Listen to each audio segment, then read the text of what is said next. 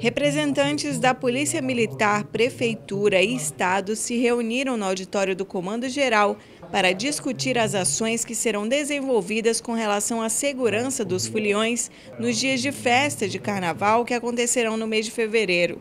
O efetivo da Polícia Militar e do Corpo de Bombeiros será reforçado para conseguir cobrir mais de um evento que poderão acontecer ao mesmo tempo em Porto Velho. Nós vamos ter é, um aumento efetivo, em alguns dias vamos utilizar os nossos alunos do curso de formação de soldado, que vão fazer o estágio de policiamento em grandes eventos, no caso o evento Carnaval, é, assim como eles fizeram o estágio de policiamento na operação final de ano, nas ruas da cidade, e também vamos utilizar todo o efetivo que trabalha na área administrativa da polícia. Né? Nesse período, nós vamos fechar todos os quartéis da Polícia Militar e vamos colocar a força máxima da polícia, podemos dizer assim, nas ruas para garantir a segurança de todos. Né? Então, daqueles que vão brincar o carnaval e daqueles também que vão estar na sua casa e precisam de tranquilidade nesse período, que a gente geralmente tem uma incidência maior de, de demanda para a Polícia Militar.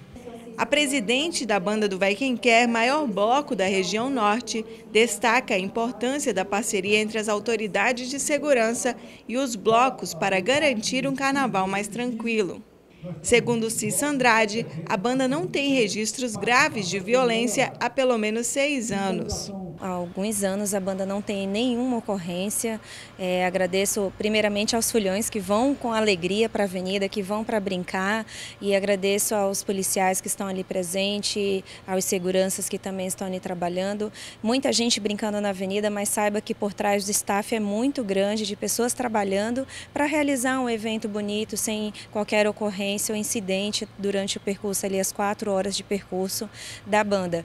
E esse ano a gente, como já vem nos anos anteriores, sempre adiantando o horário para a banda sair durante o dia e terminar no fim do dia. Eu acho que é mais seguro também você brincar durante o dia do que à noite. A prefeitura espera fazer deste carnaval o carnaval mais seguro que a capital já teve. A Polícia Militar ela, ela é o principal esteio dessa questão do carnaval, dos brincantes, até porque a população ela se sente muito feliz quando vê que tem a presença da PM, tem a presença da, do poder militar junto da, da brincadeira. Isso tem ocorrido não é só agora. Vejamos que já tem um histórico de seis anos que não ocorre nenhum ato grave nos ambientes de carnaval. Ocorre sim em outros setores, na época do carnaval, mas em ambiente de carnaval, de brincante, o cara pode estar bêbado de qualquer jeito, mas não tem uma, um incidente grave. Nós queremos que 2018 seja da mesma forma.